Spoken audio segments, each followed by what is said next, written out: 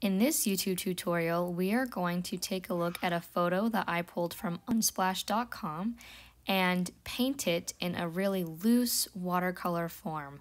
We're painting that one and it's going to be so much fun because it may look kind of impossible, but you can totally capture the look of a watercolor landscape in just a few easy steps. Here's what I'm using. Grab what you need. So to get started, I'm going to um, get my paper wet. I taped down my paper just so to keep it taut and so I don't have to worry so much about the sides. And so I'm just gonna get the first like two thirds of my paper wet with clean water. And then I'm going to pick up some blue and um, as I'm picking up the blue, because notice how this is like a lighter blue up here, I'm gonna use like more of a watery blue. So it's not super diluted. It, uh, before I started painting with it, I added a lot of water to my blue.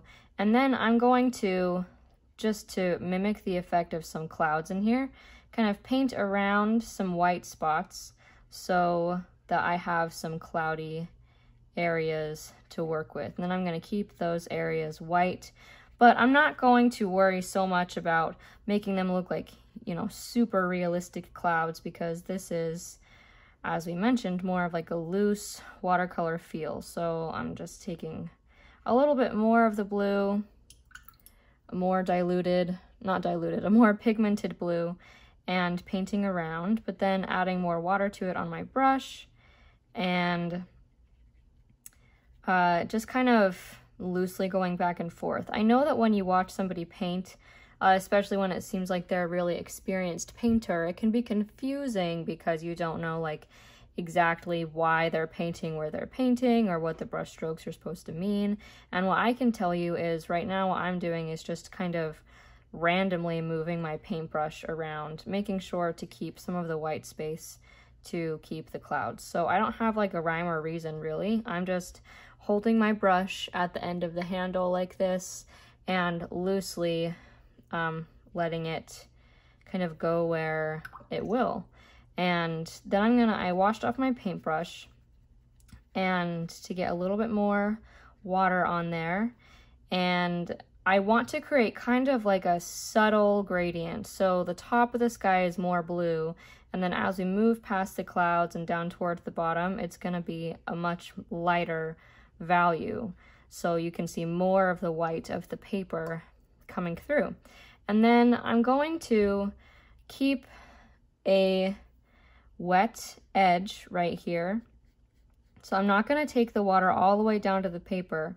I'm going to just make sure that the edge of the blue sky is mostly clean water. It can be a little bit of blue, but mostly really light value clean water. And then I also want to make sure the edge is not quite straight. I want it to be a little wonky, I guess is the word that I like to use, just so that we can kind of mimic these uh, like plants coming off the horizon. It's not going to be a super straight edge. Now I'm going to trade, I was using a size 12 brush, and I'm going to trade to my size 8. And with my size 8 brush, I'm going to pick up some green and just like along the edge of the uh, blue here, the edge of the sky, I'm going to paint the, with the green so that part of the paint uh, goes up and into the wet of the blue sky right here, but also so that I'm painting just below it as well. And that's partly so that we can try to capture these plants that seem to be coming out of this reference photo here. And so if I just paint just barely below here, I don't push the paint upward, it's going to blend into the sky because of the wet on wet technique. And um, that's going to kind of help give us that loose feel that I think this painting calls for. And then I'm going to take just a little bit of a brown and uh, do the same thing, but just along the bottom in some places so that the brown and the greens can kind of uh, blend, blend together.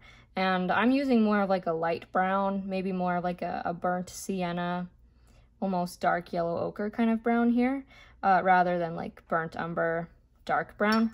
And then that brown is just going to kind of blend in with the green of the grass.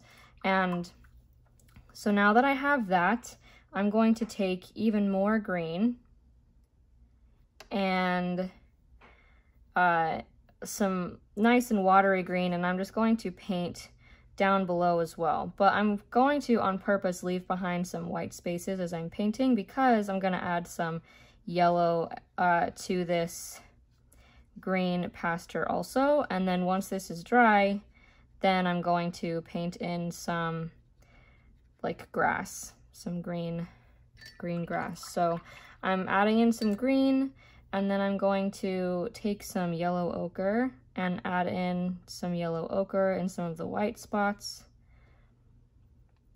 And notice I'm just having, like this is a really loose watercolor style. I'm not trying to make this, as I mentioned before, look exactly like the reference photo. I'm just kind of using the reference photo as a guide to help me know what to paint and to give me, you know, some ideas on how I might like this painting to turn out.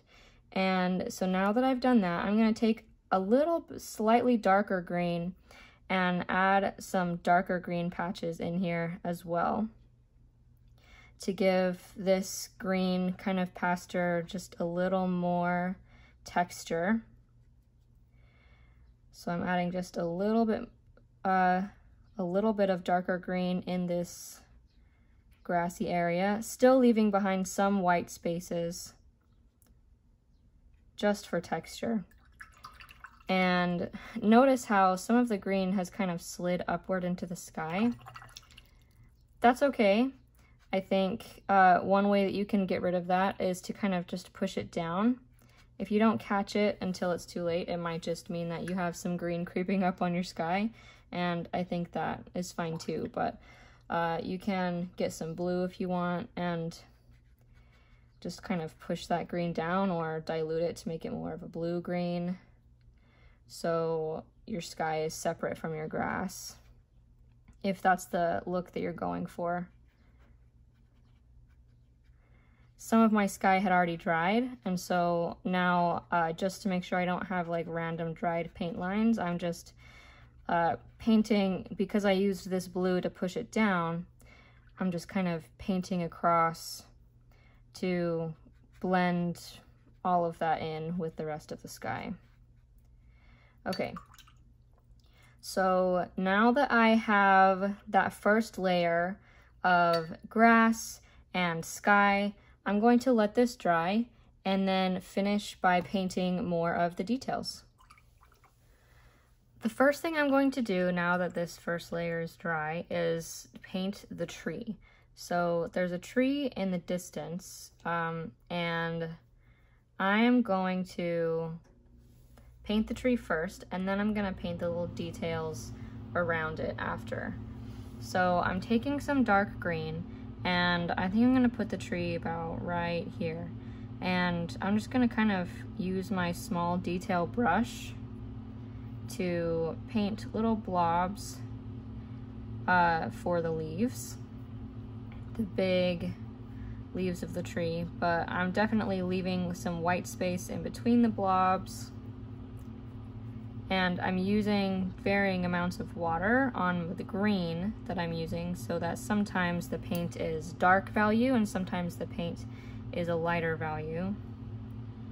And I think that's pretty good for the leaves. I'm going to add just a little, just a few more dark spaces by picking up some dark green just to add a few more little shadows here. But once again, we're not going for super realistic, so the shadows don't have to be like exa placed exactly right. They're mostly to add a little bit of variation to this tree.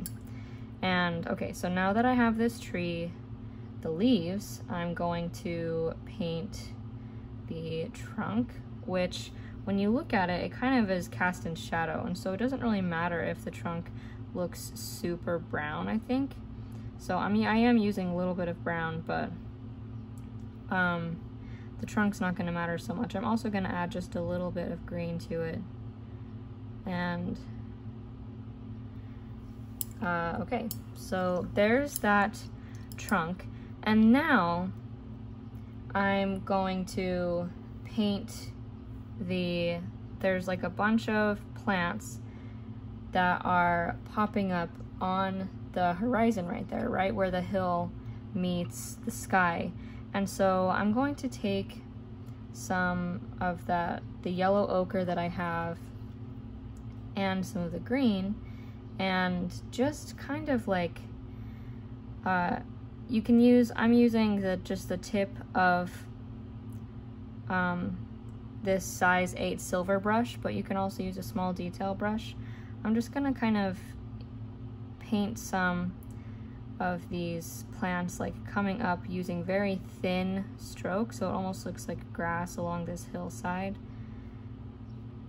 Just right along the horizon here. So I'm using mostly green right here and then I'm gonna go in and add some yellow in just a minute. So that's what it would look like if I used that uh, bigger brush and now if I did the same thing with this small uh, detail brush, here's what that would look like. And I'm just going right along here and painting uh, this little line of plants. Then I decided to, uh, in order to make it blend more into the hillside, I think I'm going to paint uh, just a little like wet underneath it so that the plants kind of blend down into the bottom. And then, uh, in order to make it so there's not just like some random line there, I'm going to kind of blend this line into the rest of the hillside, but using those uh, varied strokes that we did before how we left some white spaces behind on this hillside. I'm going to do that again as I'm blending in this uh, line of plants that we have going here. And that's just uh, to add some texture and using this loose style to make sure that we have this like line of plants along the horizon here, but also so that it doesn't look super choppy. And so now that I have that little wet line, I'm going to just add the rest of these plants along here so that the line doesn't dry at the top a line either. Working in loose watercolor, in case you didn't know before, is a lot of like working fast and working with what you have. So it's not really trying to make things look super realistic, but it is using certain tips and tricks you have to kind of trick the eye into thinking that you added a lot of detail where maybe it wasn't so much as the eye thinks that it is. Does that make sense? So, um, it's just kind of letting your paintbrush wander and using the tools that you have, like the wet on wet technique and uh, blending and making like little textures with uh, different colors and varying thicknesses to give the kind of detail that makes your eye think that you have added spent a lot of time making this look super realistic when in fact it's it's a pretty loose representation. So, okay, now that I have that little line up there, I'm just going to add a few blades, a few like tufts of grass down here. And I'm not going to, like you can tell that this grassy area has lots of uh, spots where you can see the blades, but I'm not going to add all of them. I'm just gonna do a few, some blades of grass in a few places. And first I'm gonna do it with this yellow uh, like a yellow ochre, and then I'm going to go back and add in some green.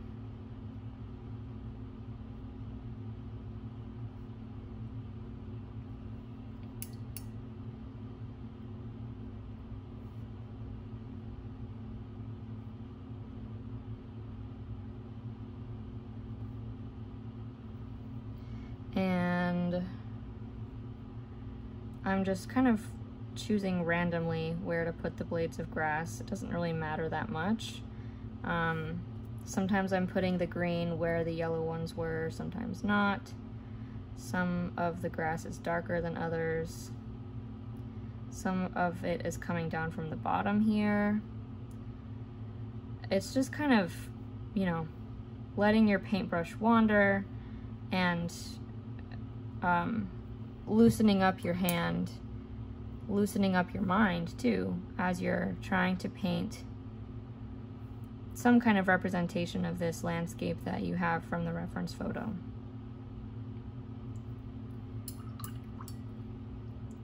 And it doesn't have to look perfect or clean even, it can look messy and that is still valid and it's still a really cool way to paint. So, okay, I'm just about done, I think, painting this grass. I'm just gonna paint a few more little tufts coming out of here.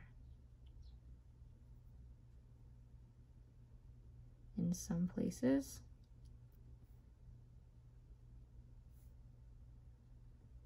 Just like that. And then uh, one last thing, I see there's kind of like a very faint fence along this hill right here. And so because it's so faint, I'm going to use a pretty light, uh, light color. I'm going to mix kind of like a yellow, like a burnt sienna kind of color. And using my small detail brush, I'm just going to, uh, I see three little posts here uh, that could be behind grass like that. And so I'm going to paint those that I see and then just kind of paint a line across the grass with this yellow ochre and paint in the rest of the posts. Even though it's not quite, I'm not sure if that's quite how it looks in the photo, that's what I'm gonna do, so. And that's partly also what I mean by you don't have to feel like limited by the reference photo following it exactly, you can paint whatever you want and use it more of just as like a guideline. So that's kind of what I'm doing here. I'm just painting these yellow ochre posts along the line of this fence. And I'm not spacing them out super well because I know that there's a decent chance that when this fence was built, if it was built in real life, that it would be imperfect and uneven. And there you go. That is the uh, a simple way to paint this loose watercolor landscape from uh, this reference photo. Thanks again for joining me. If you want more tutorials just like this, make sure to hit that subscribe button and I will see you next time.